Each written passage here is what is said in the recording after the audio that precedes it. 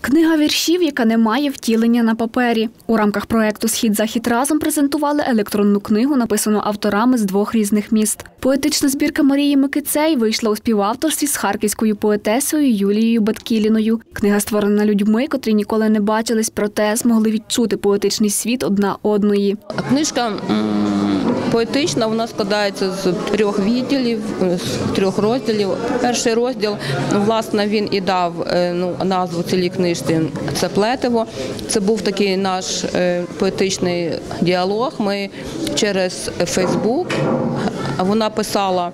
Ну, початок вірша там ну 10-12 строф, і я починала свій вірш з її останнього рядочка. І потім я писала ну, своїх там 10 рядочків, і знову мій останній ну, рядочок мого вірша ну, ставав першим рядком е, ну, її вірша.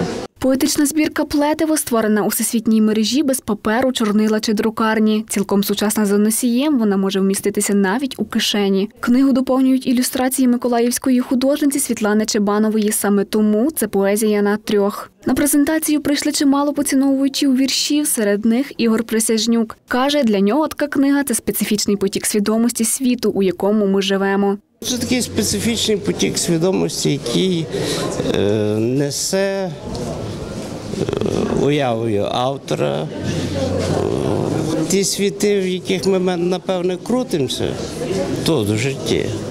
Але е, ми не відчуваємо їхньої присутності конкретно. Але вони десь навколо нас є, які нас оповивають різними емоціями, поняттями. Збірка поезії доступна тільки в електронному варіанті. Аби її придбати, достатньо зайти на сайт Український авторський портал та у пошуковій системі ввести назву. Таня Пасічник, Андрій Гаргара, телеканал 402.